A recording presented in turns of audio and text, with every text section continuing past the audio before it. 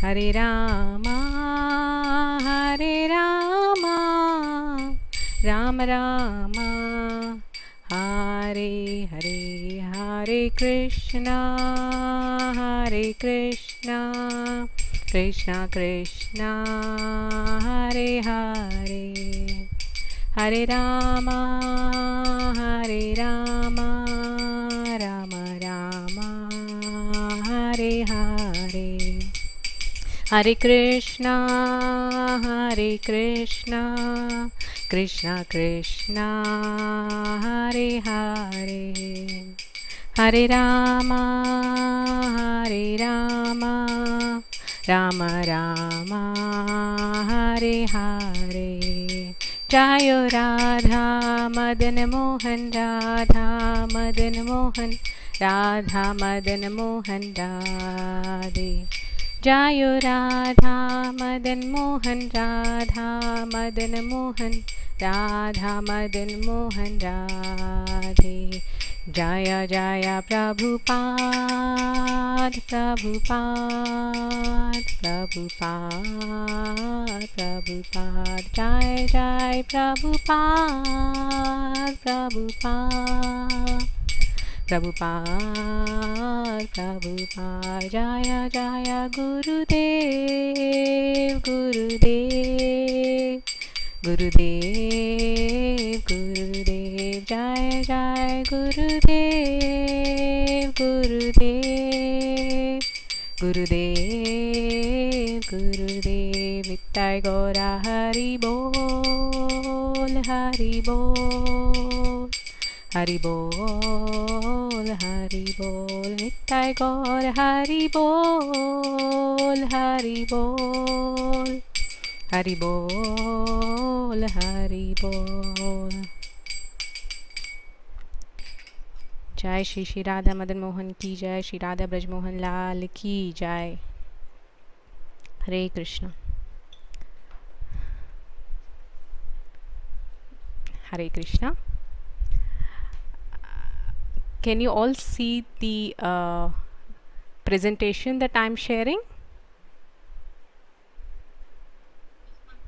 Yes. Yes. Okay, so we shall start. ॐ नमो भगवते वासुदेवाय ॐ नमो भगवते वासुदेवाय ॐ नमो भगवते वासुदेवाय We will recite this verse together from Srimad Bhagavatam, Canto 3, 21, 28. समाहितं ते हृदयं यत्रे मान् परिवस्तरान् सा त्वां ब्रह्मन् रिपवधू कामम् आशु भजिष्यति समाहितं ते हृदयं यत्रे मान् परिवत्सरान् सात्वां ब्रह्मन् रिपवधू कामं आशु भजिष्यति समाहितं ते हृदयं, यत्रे मान् परिवत्सरान्। सात्वां ब्रह्मन् रिपवधू कामं आशु भजिष्यति translation. That princess O holy sage will be just the type you have been thinking of in your heart for all these long years she will soon be yours and will serve you to your heart's content. Those who have the book can see the purport. I will just read it out from mine.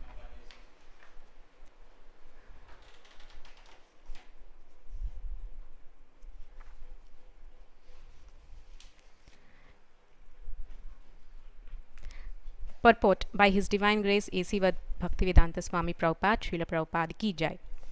The Lord awards all benedictions according to the heart's desire of a devotee. So the Lord informed Kardama Muni, the girl who is coming to be married with you is a princess, the daughter of Emperor Swayambhuva, and so just suitable for your purpose. Only by God's grace can one get a nice wife, just as he desires. Similarly, it is only by God's grace that a girl gets a husband suitable to her heart. Thus, it is said that if we pray to the Supreme Lord in every transaction of our material existence, everything will be done very nicely and just suitable to our heart's desire. In other words, in all circumstances, we must take shelter of the Supreme Personality of Godhead and depend completely on His decision. Man proposes, God disposes. The fulfillment of desires, therefore, should be entrusted to the Supreme Personality of Godhead. That is the nicest solution. Kardama Muni desired only a wife, but because he was a devotee of the Lord, the Lord selected a wife for him who was the emperor's daughter, a princess. Thus, Kardama Muni got a wife beyond his expectation. If we depend on the choice of the Supreme Personality of Godhead, we will receive benedictions in greater opulence than we desire. It is also significantly noted here that Kardama Muni was a Brahmana, whereas Emperor Swayambhuva was a Kshatriya. Therefore, intercaste marriage was current even in those days. The system was that a Brahmana could marry the daughter of a Kshatriya, but a Kshatriya could not marry the daughter of a Brahmana. We have evidences from the history of the Vedic age that Shukracharya offered his daughter to Maharaj Yayati, but the king had to refuse to marry the daughter of a Brahmana. Only with the special permission of the Brahmana could they marry. Intercaste marriage, therefore, was not prohibited in the olden days, many millions of years ago, but there was a regular system of social behavior.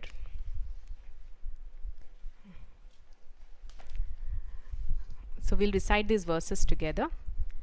ॐ अज्ञानतिमिरान्धस्य ज्ञानाञ्जनाशलाकय चक्षुरुन्मिलितं येन तस्मै श्रीगुरवे नमः श्रीचैतन्यामनोभीष्टं स्थापितं येन भूतले स्वयं रूपा कदा मह्यं ददाति स्वपदान्तिकम् वन्देऽहं श्रीगुरो श्रीयुतापदकमलं श्रीगुरून् वैष्णवांश्च।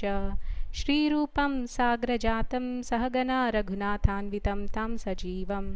साद्वैतं सावधूतं परिजनासहितं कृष्णचैतन्यदेवं। श्रीराधा कृष्णपदान् सहगना ललिता श्रीविशाखान्वितांश्च नमा ॐ विष्णुपदाय कृष्णप्रेष्ठाय भूतले श्रीमते भक्तिवेदान्तस्वामीनिति नामिने। नमस्ते सारस्वते देवे कौरवाणी प्रचारिणे निर्विशेष शून्यवादी पाश्चात्यदेशतारिण्य वाञ्छाकल्पतरुभ्यश्च कृपासिन्धुभ्य एव च पतितानां पावनेभ्यो वैष्णवेभ्यो नमो नमः। हे कृष्णा करुणा सिन्धो दीनबन्धो जगत्पते गोपेश गोपिकान्त राधाकान्त नमोऽस्तु ते तप्तकाञ्चन गौराङ्गी राधे वृन्दावनेश्वरी वृषभानुसुते देवी प्रणमामि हरिप्रिये। जय श्रीकृष्ण चैतन्य प्रभु नित्यानन्द श्री अद्वैत गदाधर शिवासादि गौरभक्तवृन्द हरे कृष्ण हरे कृष्ण कृष्ण कृष्ण हरे हरे हरे राम हरे Ram Ram Ram Hare Hare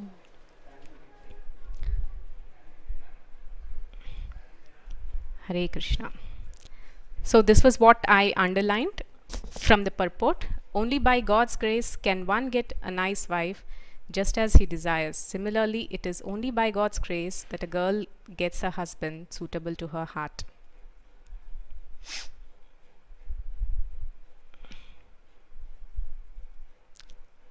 Hare Krishna. Am I audible to all?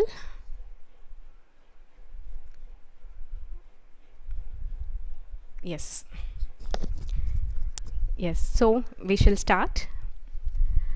So, the topic of the session is, as we have given in the flyer, the lessons from the life of a legendary princess.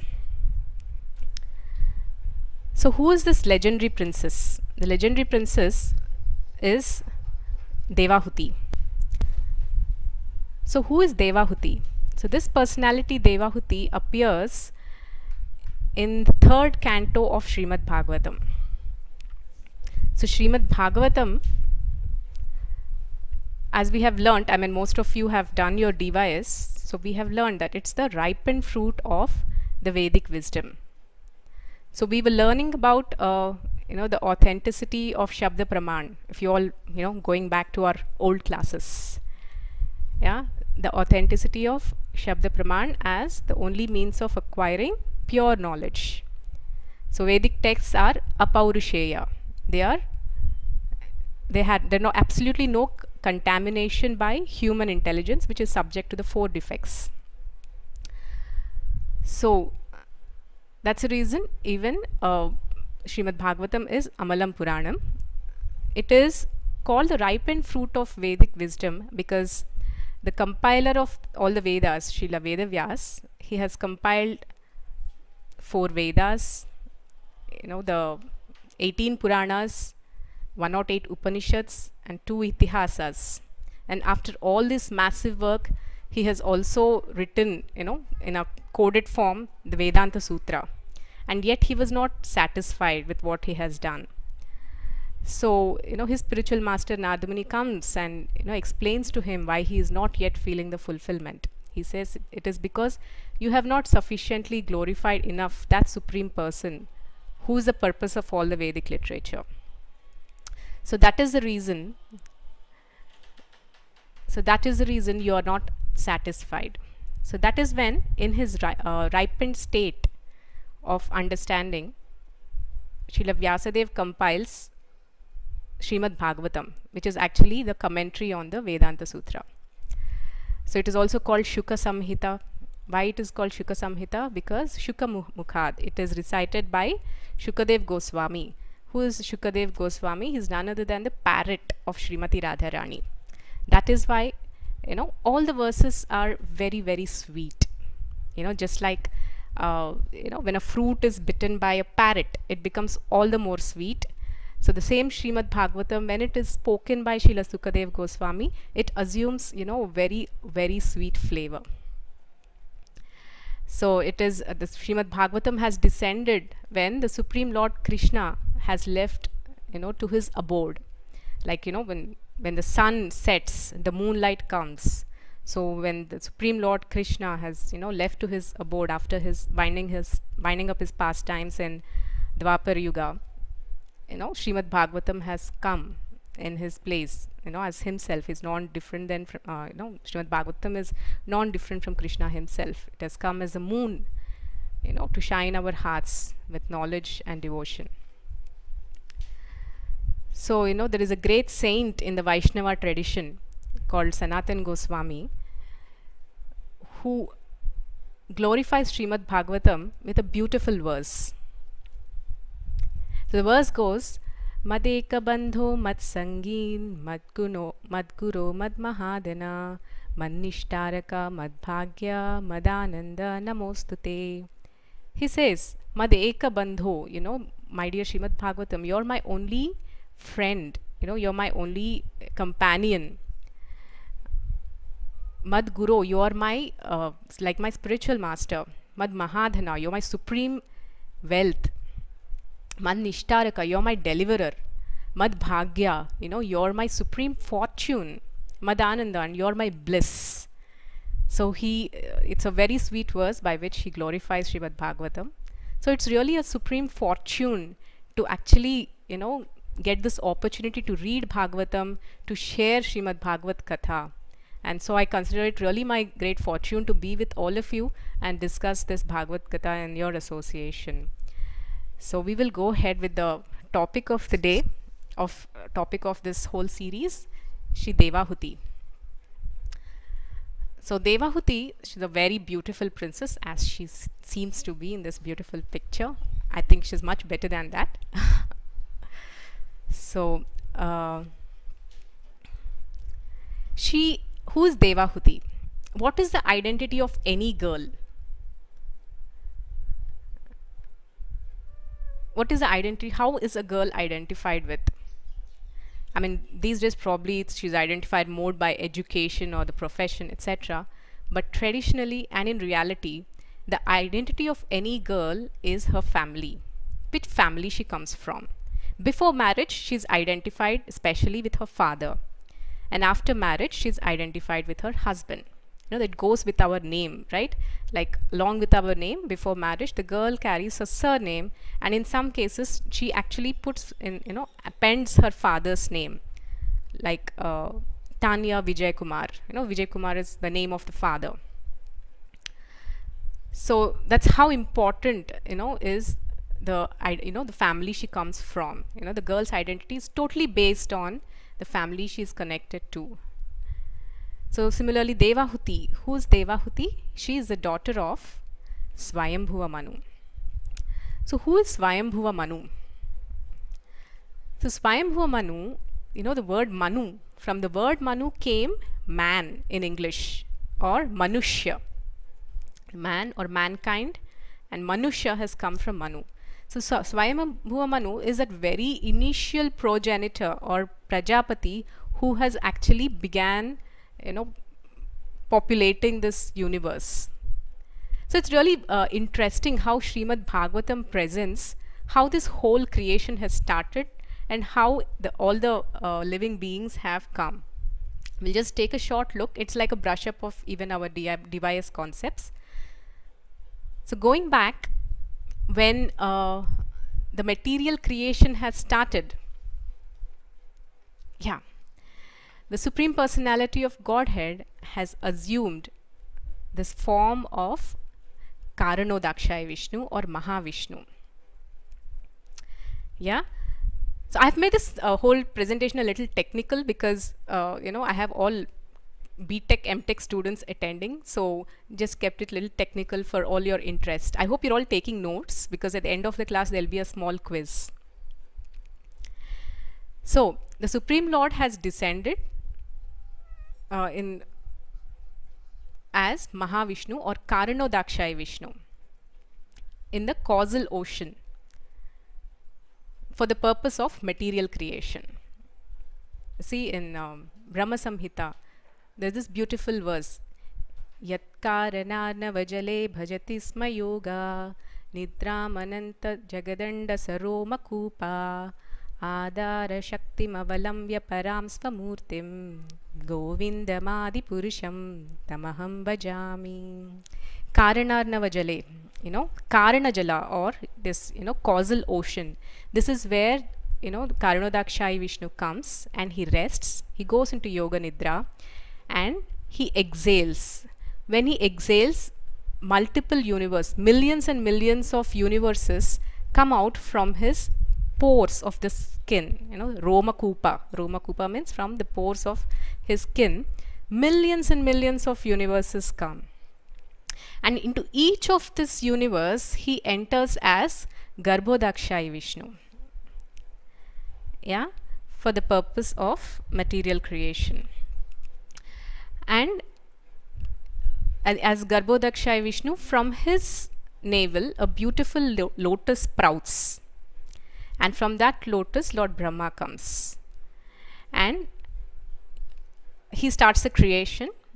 And the same Vishnu he enters into every living entity's heart as the Paramatma in the form of Kshirodakshai Vishnu. So till now we've learned three Vishnus, the Karanodakshai Vishnu, the Garbhodakshai Vishnu and the Kshirodakshai Vishnu. So the Kshirodakshai Vishnu is also the source of uh, the Paramatma and not only Paramatma, the all the incarnations. The source of all these incarnations is Kshirodakshai Vishnu. So these are the three Mahavishnus. I mean three forms of Vishnu. So here we are seeing which Vishnu? The Garbhodakshai Vishnu. So from his navel sprouts a beautiful lotus. And what is this lotus? This lotus is effulgent and resplendent like tens and thousands of dazzling suns. You know, that's how effulgent it is. You know, we cannot even see one sun with our eyes. But you know, this lotus is effulgent as ten thousands of dazzling suns. And in that lotus, the very first created being is Lord Brahma. Yeah, so Lord Brahma. This is Lord Brahma. He was, you know, sitting on the lotus. So so when Lord Brahma was created, he was bewildered, you know, just finding himself alone in this whole space. What is this? And why am I here? Then he underwent tapa. And the Lord within his heart has enlightened him about the purpose of his life. So till now, I think most of us know. So after this, very interesting things happen. So how did Brahma start his creation? What was the first thing he created? You know what's the first thing he created? The first thing he ever created was five layers of ignorance. Five layers of ignorance. Because the very purpose of this creation is to forget the Supreme Lord and to enjoy separate from Him. So the first thing he ever had to create was the five layers of ignorance. What are these five layers? These are technically called Tamishra, Andhatamishra, Tamas, Moha and Mahamoha. So what is Tamishra? Tamishra is that kind of ignorance which makes a person feel that I am the enjoyer. I am independent. I am why Krishna alone is the enjoyer? No, I am the enjoyer. That's the ignorance. And this is the ignorance which Prabhupada writes, even devotees find it very difficult to overcome. It's very difficult. And there's something called Andhatamishra. Andhatamishra is the ignorance that that which uh, just a second there's some disturbance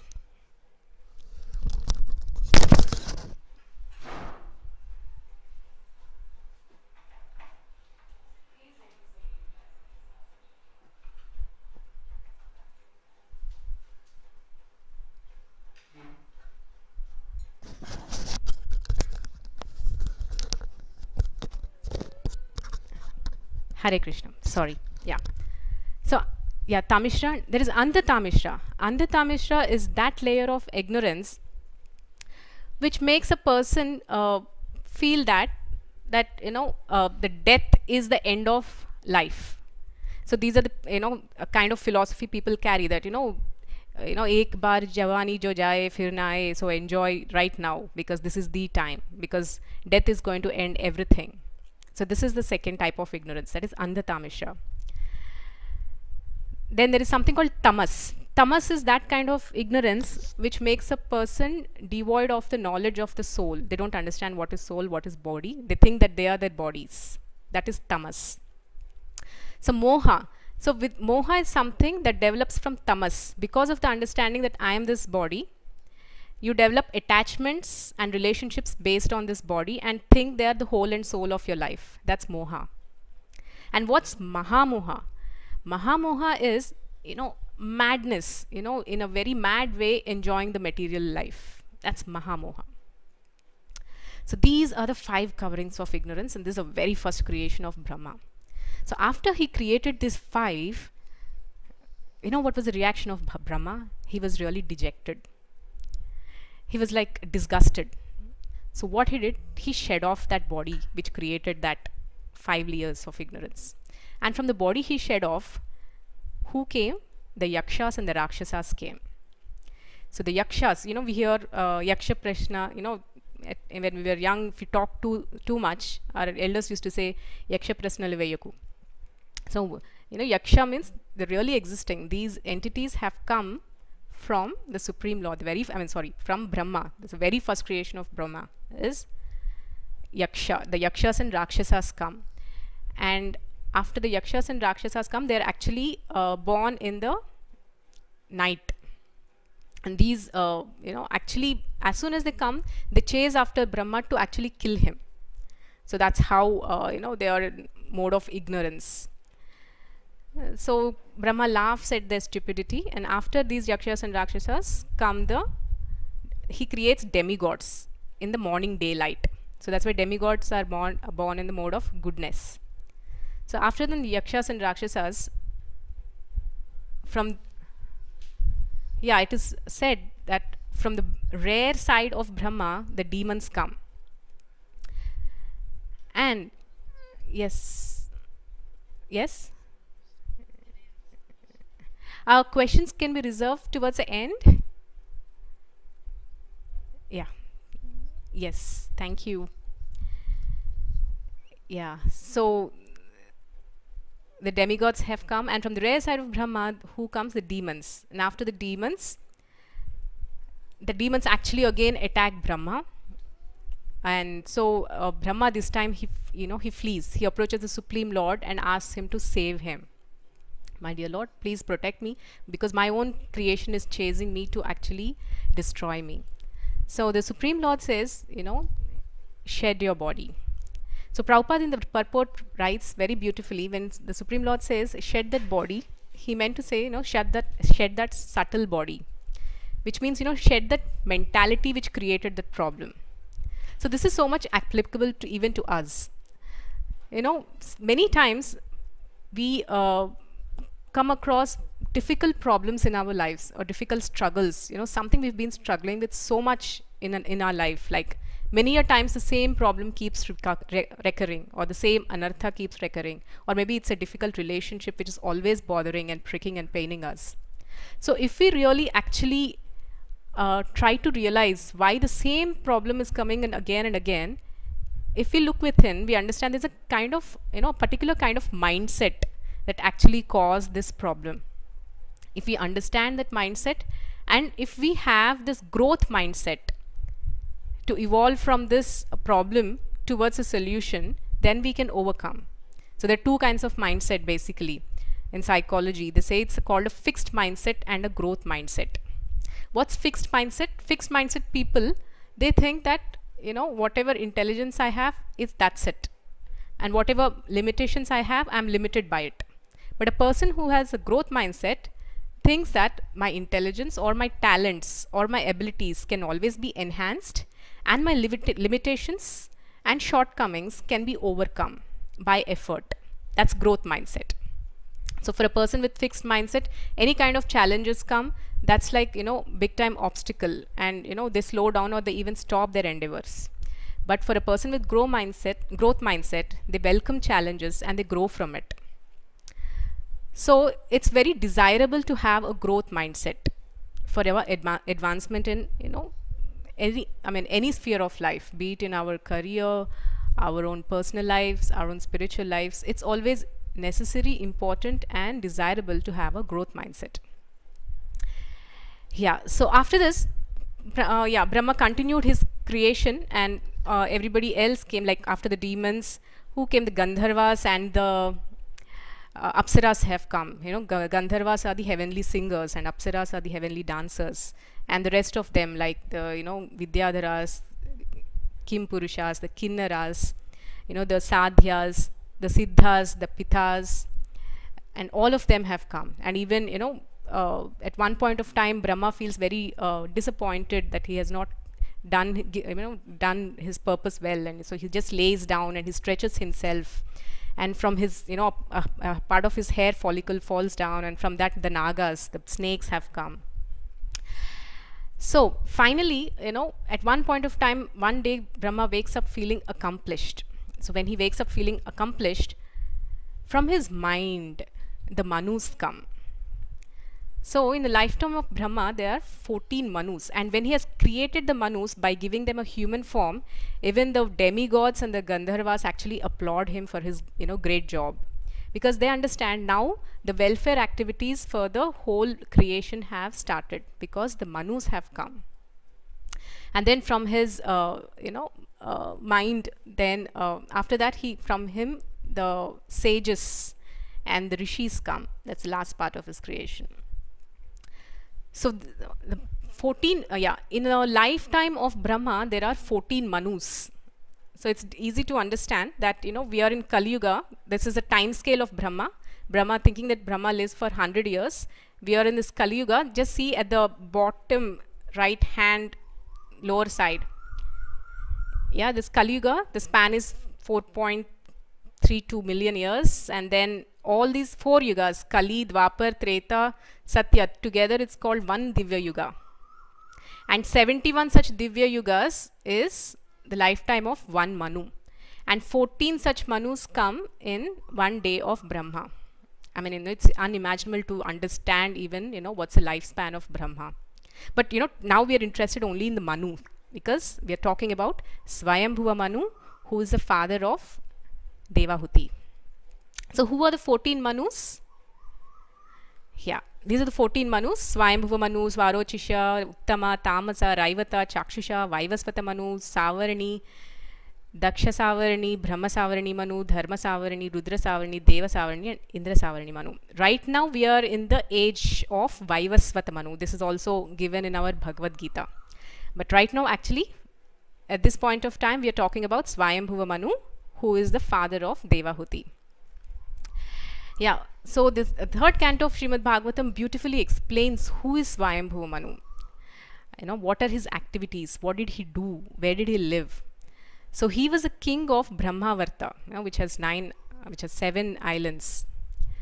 And the capital city of this Brahmavarta was Barhishmati, not Mahishmati, it's Barhishmati. Okay, it's a beautiful place. And what were his activities? Know, he shared a very loving re relationship with his wife. In fact, you know, the verse says that he actually enjoyed his time with his wife, but never let an element of irreligious principle creep into his life. And every morning, actually, the celestial singers used to come and sing about the glories of, you know, the emperor. That was how that was how famous Manu was. And every morning, he used to wake up hearing the glories of the Supreme Lord. He spent his whole life, you know, contemplating, writing, meditating, and uh, you know, hearing about and singing the glories of the Supreme Personality of God. That's how he spent his time. So with this, he actually created a, such an ambience at his palace. So this is very important because the ambience that the parents create at the home has its direct effect on the children. So what Devahuti is at present is a result of how she was risen, the environment in which she grew up as a daughter. So Swayambhuva Manu, she, it, it's, you know, the, uh, the, some verses state that, you know, though he was engaged in full-time enjoyment as a king and as a grihastha, he was never dragged down to the lower consciousness because he did all this in a very Krishna conscious environment. So what's his Krishna conscious environment he created at his home or at his palace? You know, he ensured that, you know, the deity worship was going on. He ensured that the glories of the Lord was sung. And, you know, the descriptions were, you know, narrated. So that's what even we can do at our home, you know, despite the fact that, you know, we are surrounded by so many material responsibilities. We can still divinize them or Krishnaize them simply by, you know, having a small beautiful altar at home and carrying out some worship and carrying out our duties in the consciousness of acknowledging the Supreme Person as our Supreme Lord. So it's simple and subtle, but it's very important. Yes, so this was how Manu was. This was how he spent his time. So th this Swayambhuva Manu, he had uh, two sons, Priyavrat, Maharaj Priyavrat and Maharaj Uttanapad. Uttanapad was, you know, the father of Dhruva, who comes later in the fourth canto. And he had three daughters. Two daughters is, uh, uh, one of them is Prasuti and who was married to Daksha. And uh, another daughter was married to Prajapati Ruchi. And the third daughter was Devahuti. So Swayambhu Manu, his wife is, you know, most important. His wife was Shatarupa. So along with Shatarupa, his wife, and along with his daughter uh, Devahuti, he mounts on a chariot which was, you know, beautifully adorned with all golden ornaments and he travels round the earth to reach the hermitage of Kardama Muni. So who is Kardama Muni? For whom actually, you know, such a big emperor of the whole world has come traveling you know, bringing his wife, you know, along with his wife and taking his daughter along. Who is Kardama So Kardama is the Mr. Perfect whom he has searched for and finalized and zeroed in, think, you know, understanding that he is the best suitable groom for my daughter. And he went all the way and approached him to give his daughter for, you know, in marriage. So who is Kardama Muni? Now what did he do to deserve such a great honor, respect? So this is how Kardama Muni looked like you know at the time of his uh, austerities but later he becomes quite handsome so let me tell you something about Kardama so Kardama Muni he was you know initially he got a direct instruction from Lord Brahma you know he's uh, Brahma tells Kardama Muni my dear Kardama Muni, just go and procreate. That is, you, you know, procreate and fill the universe with people. Procreate in, in, in the sense, you know, that means get married and bear children. That was his instruction. That was the instruction he received. So, what, what do we generally think? If somebody receives that instruction, what's the first thing they're supposed to do? Practically, they'll go and search for a girl. But that's not what Kardama Muni did he went and he performed tapasya. So this is the standard. This is the standard of any great personality. Whenever they're given a mission, first thing is perform tapasya. Be clear about the purpose and then jump into action.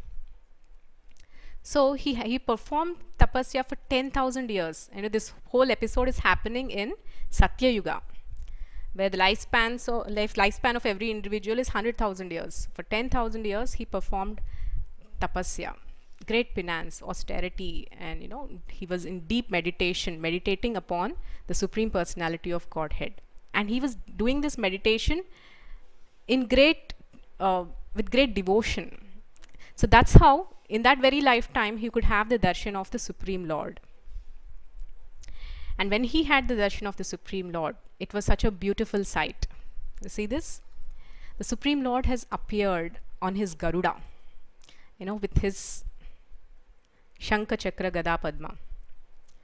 And he had a very, very beautiful lotus face, and uh, he was wearing a garland of white lotuses and beautiful water lilies you know and uh, his uh, he wore a you know a spotless yellow silken dhoti that was effulgent and then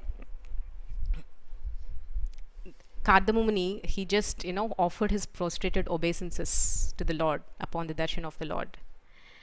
And he started reciting beautiful prayers. And if you read the uh, Bhagavatam, the 20, I think 21st chapter, you will find these beautiful verses of glorification. And uh, he says, the first thing he says is, you know, the very power of my eyesight, you know, is fulfilled just by having your darshan, O dear Lord. Now, this is the beauty of a devotee. A devotee always feels that, you know, utmost fulfillment upon having the darshan of the Lord. And there's this beautiful verse in uh, Mukundamala Stotra. यत्कृष्ण प्रणिपातधूलिधवलं तद्वर्ष्म तद्वैशिरस् ते नेत्रे तमसोज्जिते सुरुचिरे याभ्यं हरिं दृश्यते। सा बुद्धिर्विमलेन्दुशङ्खधवला या माधवध्यायिनी। स जिह्वामृता वर्षिणी प्रतिपदं या स्तौति नारायणम्। That head is the loftiest, which bends down for offering obeisances to you, O Supreme Lord. You know whose head is you know filled with the dust by offering obeisances to the lord that head is the loftiest. And those eyes that have seen the lord have actually overcome all ignorance. And you know Kardama Muni is that great blessed soul who had the direct darshan of the supreme personality of godhead. And so on you know uh, sabuddhi vimalendu shankadavala you know that intelligence is like as bright and as white as a lotus and a you know as a conch that which always constantly meditates on the supreme lord and that mouth rains nectar which which glorifies the supreme lord narayan so that's uh, you know that's a glorification of the person who actually has uh, you know taken the darshan of the supreme lord so that's the glory of Kardama Muni. And so he, so on and so forth. He offers very beautiful prayers in uh, in the praise of the Lord and uh, he says that my dear lord you know because you know you're the source of all the creation. You have created this material creation. Though you didn't desire it you have created it just to facilitate the sensual pleasures of all the living entities. You have created this material universe to give you know a, a, a chance for the living entities to fulfill their desires by fruitive activities. And then uh, you know I mean, there's a lot of beautiful verses glorifying him. And he says that, you know, those people are very stupid who actually approach you for material desires. But then I have come to you with a desire for a beautiful wife. You know, he says all this and then he says that, you know, please forgive me, but, you know, even if a person approaches you with material desires, you're so kind and you're so compassionate that you know uh, you you you bless anybody who approaches you with whatever desires.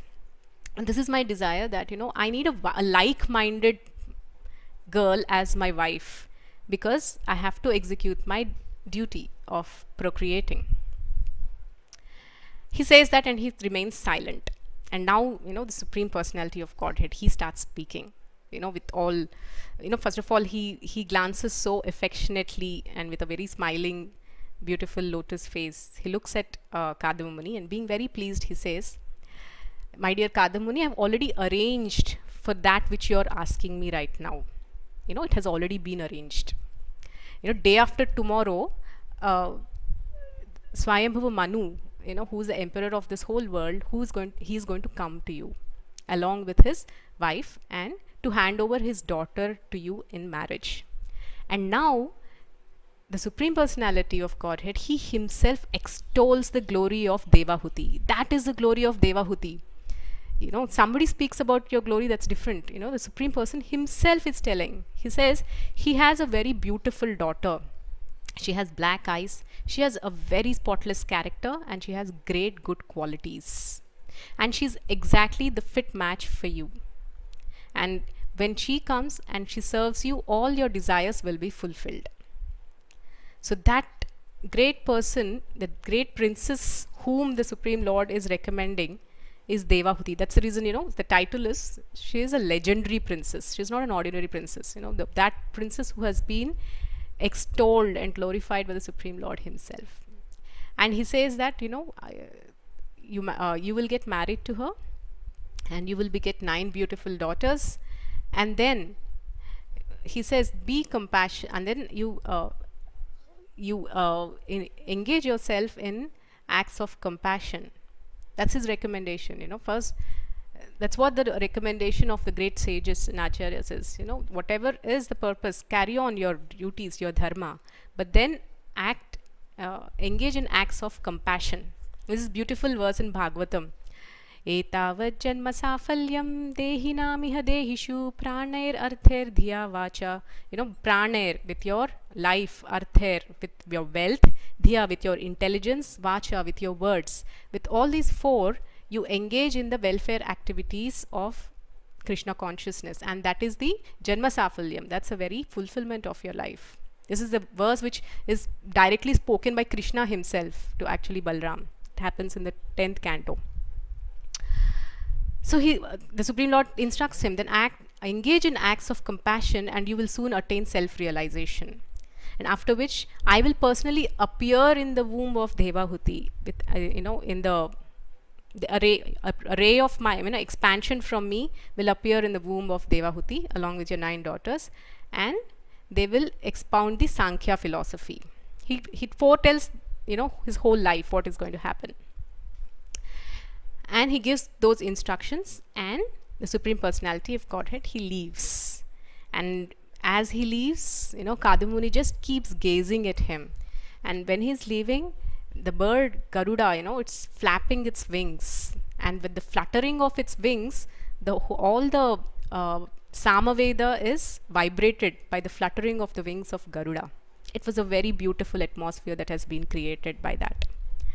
And the supreme lord leaves and uh, Kardama Muni just keeps gazing at that path of Vaikunta through which, you know, the path which has been glorified by all sages, the path to Vaikunta, through that the Supreme Lord leaves. And then, yeah, now Kardama Muni winds up and he goes back to his uh, small hermitage and waits for that day which the Supreme Personality has foretold. So Kardama Muni, I mean, Swayambhuva Mani, uh, Swayambhuva Manu, whom I have spoken to you, that you know he has come along with his daughter, you know, along with his wife. He brought his daughter to Kardama Muni's uh, hermitage, and they met. So when they met, you know, where did they meet? They met at this beautiful lake called Bindu Sarovar. You know, what you're seeing in this picture is called Bindu Sarovar. So this Bindu Sarovar, it's, you know, it is actually given that name of Bindu Sarovar because when the Lord has appeared to Kardama Muni, out of his unlimited compassion for Kardama Muni, tears run down his lotus face and they fall into this lake. And that's when, you know, tear means Bindu. So that's when this whole uh, lake has received its name called Bindu Sarovar. So ever since then, all the sages and uh, rishis they flood this particular place because it has become all auspicious by you know the tears of the Lord falling in the lake and uh, ever since then, you know, the whole place has become so auspicious by all auspicious trees growing. growing. What are auspicious trees? Auspicious trees means those which bear beautiful flowers and fruits. You know, the flowers like champaka, the punnaga, the mandara, and uh, you know all these sampinga, the, all these beautiful flowers. These are all auspicious trees, and they're all auspicious birds like swans, like peacocks, and you know the chakravaka birds, the chakora birds, and all these. They had you know all the bees were buzzing in a very intoxicated way. You know why was these bees buzzing in a very intoxicated way? Because a lot of beautiful flowers and there was a lot of nectar. And drinking so much nectar, they became so intoxicated. So there's all this buzzing of bees and the dancing of peacocks. It was a very, very, very beautiful environment. And all auspicious animals like the musk deer, which were you know which are rarely found anywhere. Because you know the, from the, it's from the musk deer and the special cows whose uh, tail is used as a chamara for the worship of the Lord. All these auspicious animals were also abounding in this area. So it's an all auspicious area, the Bindu Sarovar. So this is the place to which Swayambhu Muni, Manu, Swayambhuva Manu has come to meet uh. So when he meets Kardama Muni, there's a beautiful exchange that happens. You know, Swayambhuva Manu comes. And imagine the father of the daughter meeting the, you know, for the first time he's meeting the would-be groom. So generally nowadays you can imagine that meeting as you know exchange of egos or whatever. But that time it is a very different kind of exchange uh, Swayambhu Manu comes and uh, he meets Kardama Muni, and as soon as he meets, he offers his obeisances. And Kardama Muni, uh, he he invites him by offering his blessings. Top class, you know. the simple reason is Swayambhu Manu is a Kshatriya and uh, Kardama Muni is a Brahmana. He's a perfected Brahmana. So that's uh, the platform in which these exchanges are taking place. So Kardama Muni invites him to his hermitage, and both of them sit and they have a nice uh, talk. So first, uh, Kardama Muni tells about you know, oh my dear uh, Swayambhu you're a you're actually the protect the protection the protecting energy of the Supreme Lord Hari, and you're traveling all over to protect this earth. You know, glories unto you. He sings his glories and uh, it's wonderful that you have come now please tell me how i can serve you he knows the purpose but you know he just tells you know now tell me how can i serve you? Then uh, starts off you know he i mean sorry the uh, Swayambhu starts off. He says you know uh, you know my uh, my life is sanctified by having received instructions from you. I mean you have told me what are my duties you know that i have uh, that a king goes around and takes care of his subjects. And i'm enlightened by coming in association with you. That's the beauty of sadhu sangha and you know this is a reciprocal uh, relationship between uh, brahmanas and kshatriyas you know. And he says uh, swayambhu manu says that you know brahmanas are actually the heart of the supreme lord and kshatriyas are like the arms. You know the brahmanas are meant to enlighten the uh, kshatriyas and kshatriyas are meant to protect the brahmanas. And this is the whole cooperative system which has you know which is the very essence of varnashram. Essence of varnashram is each varna and each ashrama are you know they're supposed to cooperate with each other. Like a brahmana is supposed to enlighten the kshatriya kshatriya is supposed to protect the brahmanas. And even within uh, ashrama you know wife is supposed to uh, serve the husband and husband is supposed to protect the wife. So it is all cooperation. But these days whenever this cooperation becomes competition all chaos begins you know brahmana says that you know i am better than you kshatriya says i am better. They compete with each other. That's where the whole uh, you know chaos begins. You know the wife and husband instead of cooperating when they start competing that's when their problems start and multiply. So it's a spirit of cooperation. That's uh, that's the very essence of varnashram.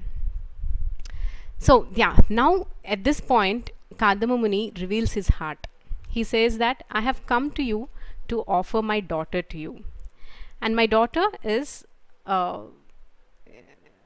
Devahuti. She's a sister of the first introduction he gives is she's a sister of Priyavrat and uh, Uttanapad. That means he wants to say that she's coming from a very, wonderful Kshatriya family. And you, most importantly, she has heard about you from Narada Muni. And ever since she has heard about you, about your glorious character, about your glorious qualities, she has fixed her mind upon you. And so, yeah, that's what they say. Yeah, she has fixed her mind upon you. So, please kindly accept her in the uh, in, as I offer her to you with lot of love and I have uh, and uh, you know I offer her to you in full faith that you know she will support you in your future journey in your grihasthashram. So this really very beautifully explains the relationship between the father and daughter. See the father had uh, such full faith in his daughter and the daughter had full trust in her parents. She had so much of trust that she revealed her heart and first even before that she was so inclined towards marriage. See, she grew up in an environment where she saw loving relationship in between her parents. And she grew up in a God conscious environment. For that, she was very open. Because of that, she was very open for marriage. Because she had a very positive understanding about marriage. If you see these days, most of the people are not even ready for marriage. They don't even have a you know a positive opinion about marriage. They just want to postpone it as much as they want, as much as they can, because they have never seen good examples of, you know, happily married. so uh, that's the reason, you know, career first, settlement first, you know, enjoyment first, and then marriage is later, later, later, and it's postponed. And even it's taken, a, when there's nothing else to do in life, okay, then get married that's how marriage has been indefinitely postponed by and that's the prevalent i mean most prevalent thought amongst youngsters. In fact if anybody gets married at uh, 18 or you know 20 21 they see it's like you know it's child marriage uh, it's some as if it's something illegal they see it. But then devahuti uh, you know she grew up in such an environment of love and trust that she had this positive because uh, at a particular age it is a very uh, natural thing to develop the need for marriage but then the very act of marriage is being postponed because of the, uh, you know negativity towards it.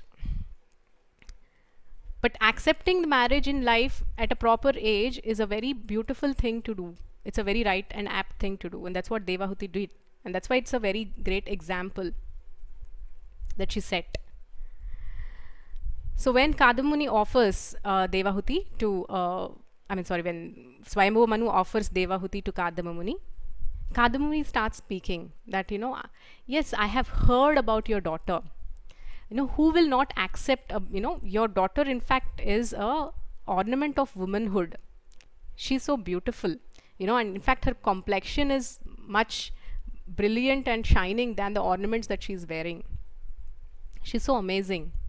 I've also heard that, you know, when she was playing on her rooftop, the Gandharva, there is a Gandharva called Vishwavasu you know he was traveling on his airplane.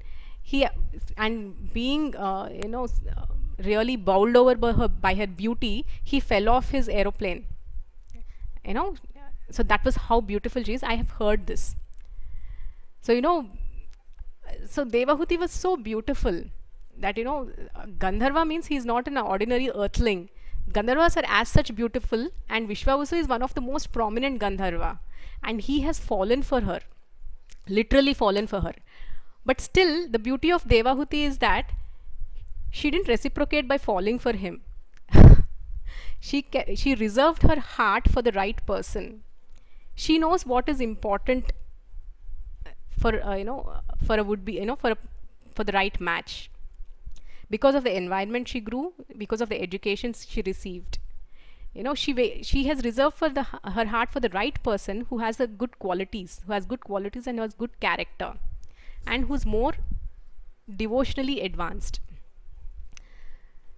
So even in our uh, lives we see that you know there are many people who fall who fall for us. Wherever there is beauty there is adoration. So if people fall for us we need not reciprocate by falling for them. We don't have to show compassion at the wrong place yeah so that's you know devahuti sets a very beautiful example here that she reserved her heart for the right person and that's what is actually the reason why Devahut uh, as glorious a personality like they, you know, Kardama Muni, who has, you know, in fact, Kardama Muni is a very, uh, very, very handsome uh, person. When Swayambhu first sees Kardama Muni, he's, he says, You're like an unpolished gem. You know, he's such a tall person, his eyes are beautiful like lotus, and his complexion is effulgent. Though he was, you know, in his rags, but this was his personality. He was so effulgent and beautiful. And so Kardama Muni says that, you know, I am very happy to accept your daughter in marriage because she is really, uh, because she he actually heard about her from the Supreme Lord himself and she's full of virtues, full of all good qualities, full of good character and not just that and she had such a chaste heart. Which person will not accept her? And he says that but one thing, I will accept her in marriage, but I have just one condition that after begetting children through her, I will go back to my devotional service and uh, you know I mean after leaving her under the care of her children I will go back to my devotional service full time and uh, he does so. Uh, and he says that he says because I am uh, you know connected to my uh, supreme lord the supreme personality of godhead. You know he is my affiliation. He says that and he just you know falls into the kind of bliss thinking about the supreme person and a beautiful smile comes on his face. So devahuti when she sees that she'll be very captivated. Her mind is very captivated and you know seeing his smile so yeah so this is the first class marriage, Prabhupada in the purport explains, this is the first class marriage. It's called Brahma Vivaha. The first class marriage is when the parents actually search for the suitable groom and bring their daughter and offer her, I mean, offer her to the groom. But the qualification they see in the groom is that he is well versed with the purpose of life. He is well versed with the Vedas. And this is called the first class marriage. And children who are born out of that first class marriage are first class. I will tell you, there are actually eight types of marriages that are indicated in the Manusmriti. This is the final slide that uh, I'm going to go through. There are eight types of marriages which Manu Samhita or Manusmriti speaks about. So it's Brahma or Rajasika. This marriage, Brahma or Rajasika marriage is that marriage which in which the father or you know the parents give the bride in marriage without any expectation. You know, they just decorate the bride and you know with all ornaments and they offer her to the groom and they don't expect anything to the, in return. And this is called the first class the top class marriage. That's brahma brahma vivaha. The second type of marriage is the daiva. Daiva marriage is they offer the uh, the uh, the bride to a priest who has performed some kind of a sacrificial ceremony for the family and there's something called Arsha Vivaha. Arsha Vivaha is they exchange the bride for some oxen, you know, from oxen or you know, cows. Then there is Prajapatya Vivaha. Prajapatya Vivaha is that type of marriage when the boy approaches the girl's parents for marriage. So the first four types of marriages, uh, you know, the result is that the progeny is very sattvic. The progeny I'm talking about is the children. The children born out of these four marriages are very auspicious. They are, they are very sattvic. They are in sattva guna. Then five, six, seven, eight. Of this five, six is, you know, at least tolerable. Seventh and eighth are intolerable. What is the five, uh, fifth and sixth one? Fifth one is a asura marriage, asuric marriage. This is when, uh, you know, the groom, the bridegroom offers some amount to the father of the bride and takes her. It's not very auspicious, but yes, that's fifth class. Then there is sixth called Gandharva Vivaha. Gan Gandharva Vivaha is, you know, when the girl and boy, they like each other based on uh, some bodily attraction. The ordinary love marriage which we know of this current day and age, that's called Gandharva Vivaha. The, you know, the both the boy and girl they like each other based on some characteristic and they together decide to get married even the marriage of Shakuntala and Dushyanta is a classical example of Gandharva Vivaha. And there is Rakshasa Vivaha. What is Rakshasa Vivaha? That is, you know, the it's this happens generally in Kshatriyas. they uh, they actually abduct the girl from the family and they fight they throw a fight with the family we see in some movies also and uh, they fight with the family and when they win over they take the girl and they go. And if they lose they have lost. And there is there is paishachaka you know paishacha this is the worst kind of marriage. Paishacha marriage is when when the girl's parents and relatives all are all of them are sleeping and they don't know what the girl is doing. That's when you know the girl is taken and you know they elope. You know in technically called elopement.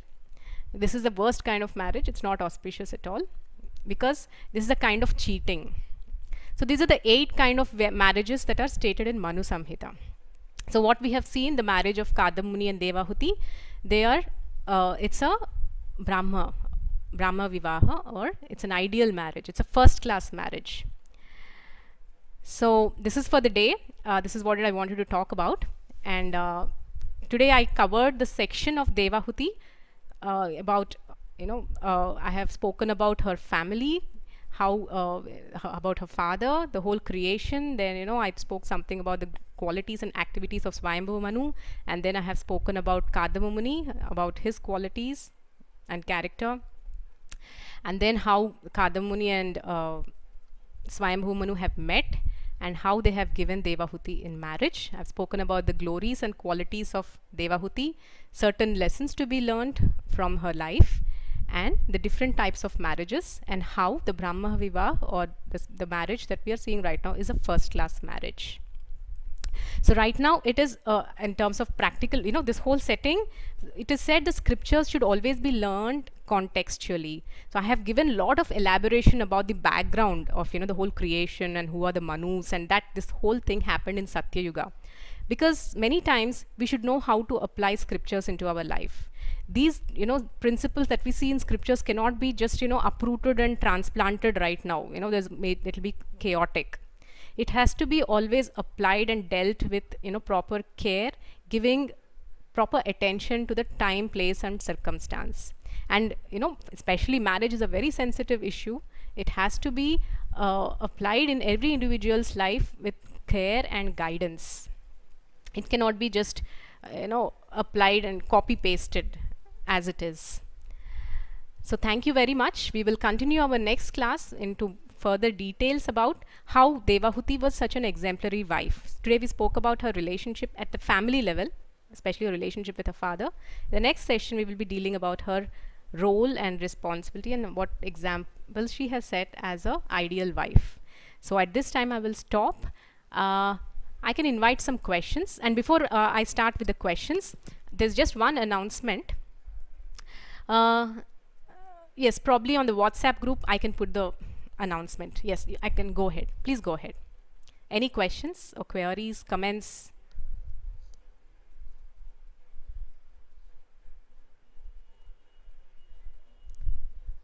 Hare Krishna. Somebody had a question previously. Hare Krishna.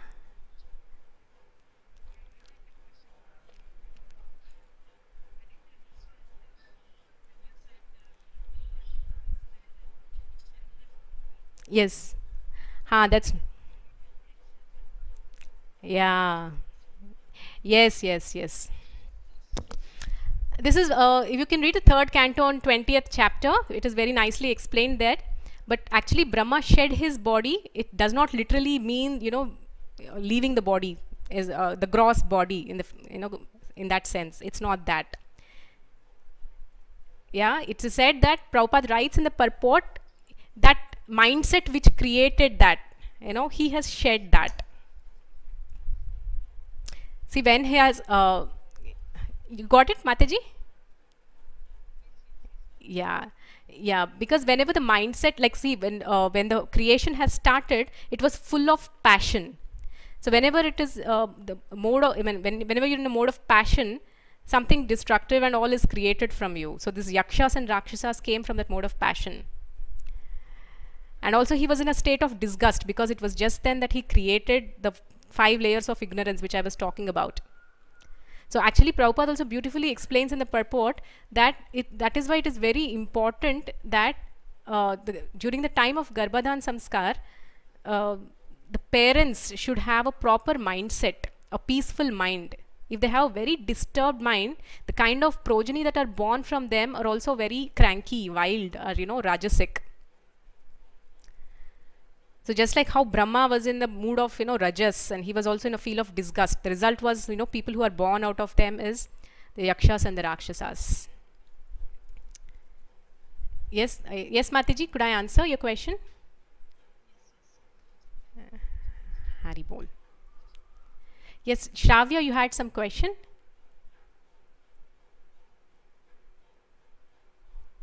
Somebody put some question on the chat.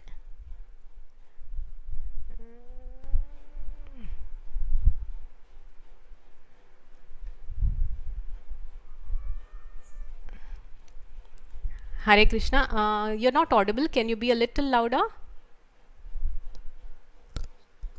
Yes.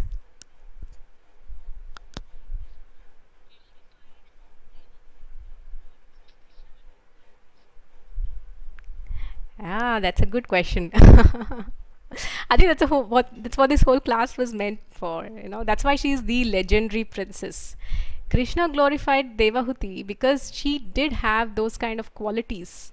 In fact, actually, uh, Bhagavatam writes that Devahuti was already a perfectionist in the eightfold process of mysticism. She has already perfected her life, you know, through this uh, Ashtanga yoga. This, you know, she's well known to the Lord. And then the Lord has personally recommended because of her beautiful qualities. The qualities, see, uh, one of the beautiful quality of a girl is she never pains the hearts of her parents. Devahuti had such brilliant and beautiful qualities. The very fact she's a daughter of Swayambhuva Manu, that itself speaks of her qualities. She had, you know, the Lord glorifies that, you know, she is of wonderful character and possesses all good qual qualities. That's why he had glorified her. And at that point of time, you know, when Kardama Muni has approached the Supreme Lord for, you know, the right wife, he told that she's exactly the person whom you're looking for. And, you know, he brings forth, he answers his prayers. And she's deserved that glorification because of the person that she is, her tapasya, her good character. In fact, whenever, you know, even we see in Mahabharat, uh, you know, we see that the Lord is so pleased by how Draupadi was, uh, you know, had that feelings of love in her relationship with Drupada, with her father, with her brother. So, you know, whenever uh, these uh, relationships are handled well and served well with respect and these good qualities, the Lord is simply really pleased beyond anything. Yes, is the is that Kavya who asked me the question? Who's uh, may I know the who, uh, name who asked me this question? Nikita. Deepika. Okay, Hari bol Deepika Mataji. Yes. Hare Krishna. Dandavat Vijay Lakshmi Mataji ki jai. Thank you.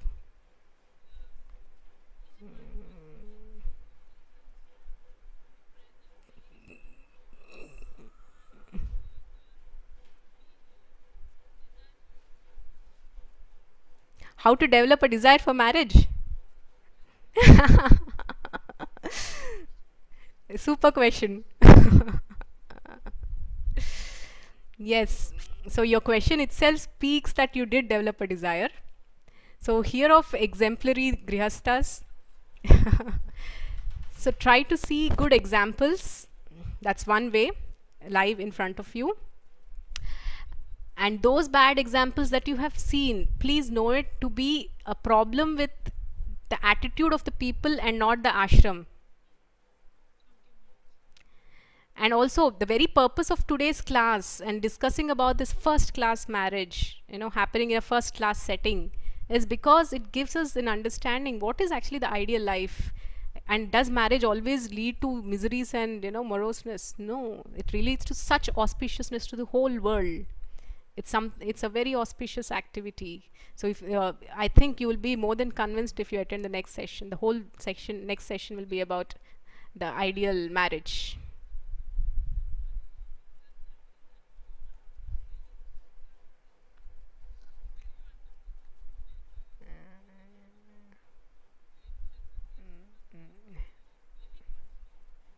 Hare Krishna. Mission accomplished. Jai. Okay, so uh, any more questions?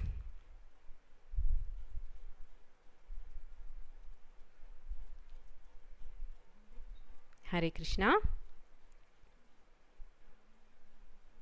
Yes, Mataji.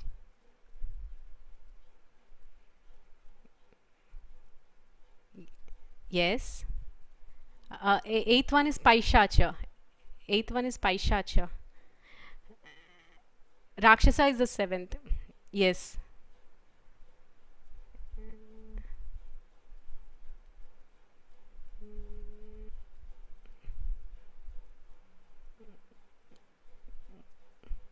Yeah. Yeah.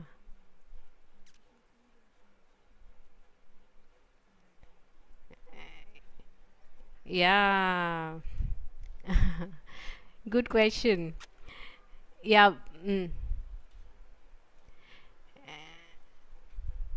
Yes. Yes. Uh, we see that actually this whole marriage between uh, Krishna and Rukmini, it's not Rakshasa Vivaha. It's in fact a Gandharva Vivaha because there was mutual consent. Both of them loved each other. In fact, Rukmini, she was all in love with Krishna and she, uh, she sends a letter through a Brahmana to Krishna expressing her desire to marry him and in fact requesting him to come and take her. So it's more of a Gandharva Vivaha. But it is staged like a uh, Rakshasa Vivaha, but it is not a Rakshasa Vivaha because it happened by the consent of the girl. In Rakshasa Vivaha, what happens is you forcefully abduct the girl also. Like in the case of Bhishma Dev, he forcefully abducts, you know, Amba, Ambalika, and Ambika, right? And he didn't take their consent whether they really wanted wanted to marry, you know, the Vichitra Virya and uh, the other and her and his brother. That is Rakshasa marriage. You know the, the consent of the girl is the key factor. But in case of rukmini she was really in love with krishna. Yes purvi? Your name is purvi? Are punya hari hari jai hare krishna so did that answer yes hare krishna Hari Bol. So it is done. We'll wind up. It's already 7.20. Hare Krishna Mataji. Dandavat. Yes, Mataji. Dandavat Mataji.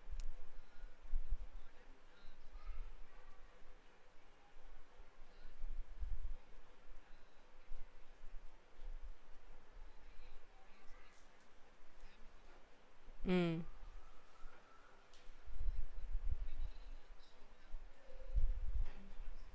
Hmm.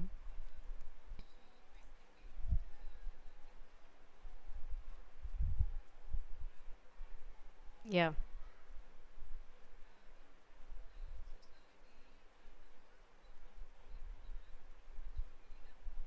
Mm. Mm.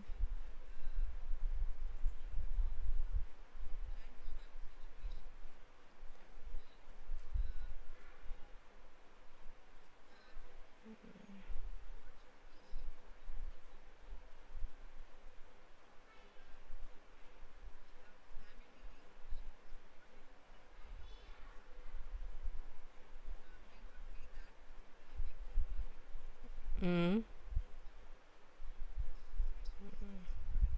Yeah. So, yes, Mataji, this was exactly what I was uh, trying to say towards the end of the class that, you know, what we have heard, uh, you know, is the perfect, you know, something that happened in Satyuga, but the principles are relevant even till date, you know, as in uh, the kind of example that uh, Devahuti has set. I also spoke about her family background, what's the family that she's coming from, and that how did that have the, you know impact on her personality and her desires and her relationships with her father. So this is all happening in a first class way. So the question that you have asked me, yes, true. In this current modern day and age, you know the whole society that we are living in. You know, in Satya Yuga when this took place, there was no social intercourse as well, hardly but right now we are living in a society there is you know girls and boys study in the same college or in the same educational institution. And families are oftentimes you know not very exemplary as you have rightly pointed out. So it's a whole lot of you know mix and uh, a, a chaotic situation. And that's the reason i said you know it's a very sensitive subject matter.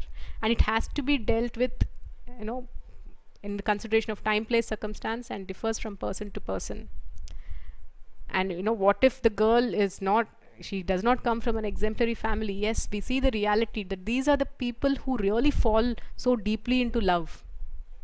You know all these uh, kind of love where you know people start cutting their hands and uh, you know doing all these kind of crazy things. If you really look into their lives they are coming from families which are kind of disturbed. They don't have some fulfilling relationships in their own family itself.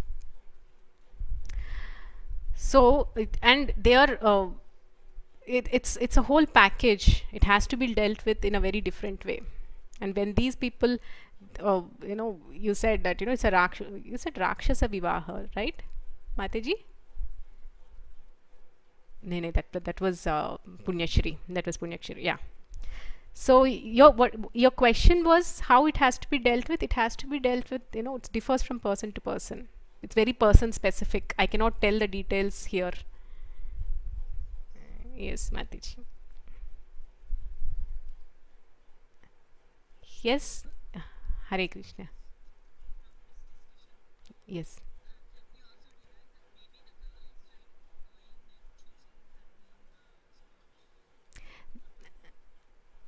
that's what Mataji we cannot really justify because sometimes you, if you you if you you want to give a verdict that she's right but ultimately is uh, the choice that she's making is it is it good or bad how do we know?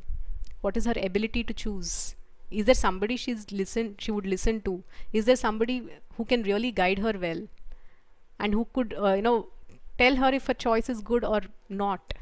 If not parents is can is some can somebody else mentor her and tell? You know that, that this is your decision these are the pros and these are the cons. Because it always this is what exactly Prabhupada writes in the purport. You know girls at the marriageable age are driven by passion and lust. You know let's say passion. So passionate mind cannot make a sound judgment. They lack even experience. So that's the reason a guide experienced guidance is is very very important for making a decision. If that that guidance is not coming from parents it has to come from elsewhere ultimately for the benefit of that girl.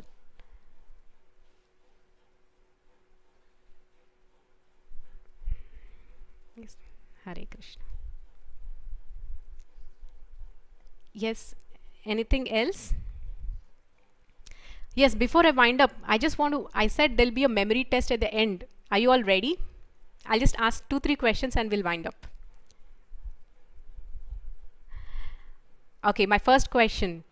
Um, what is uh, from what is the name of you know the Vishnu from whom the from whose navel the lotus sprouts from whom the Brahma comes. Which Vishnu? Jai. Okay. What are the five layers of ignorance first created by Brahma?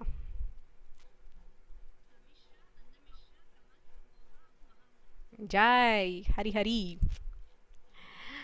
Okay, one more.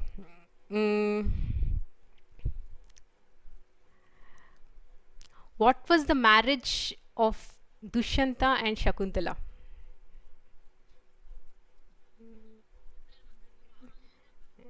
Yes, it was Gandharva Vivah. Exactly. Yes, yes, yes. And um, what is the current Manu in whose uh, period we are in right now? Vaivasvata Manu, yes, and uh, seventh, excellent, excellent, beautiful. Uh, what more? You're all wonderful students now. I don't have any more questions. thank you, thank you very much.